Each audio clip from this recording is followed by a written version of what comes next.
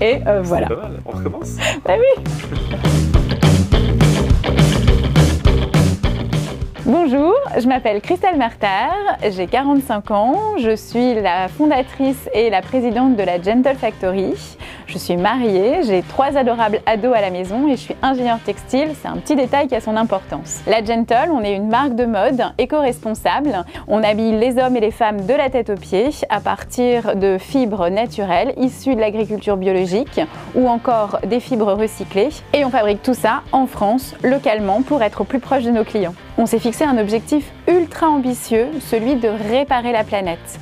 C'est plus le temps de compenser, il est vraiment trop tard pour ça. On doit profondément changer nos modèles économiques. On s'est fixé du coup pour ambition dans les 5 prochaines années de devenir une véritable entreprise plateforme pour connecter un maximum d'acteurs de la mode responsable et d'offrir tous les services dédiés pour y réussir.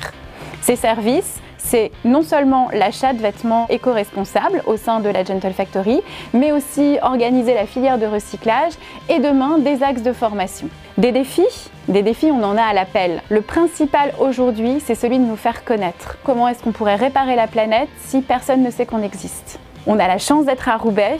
Roubaix, c'est une ville historique du textile et ça nous permet de raconter une belle histoire. Et à la Gentle, on adore les belles histoires.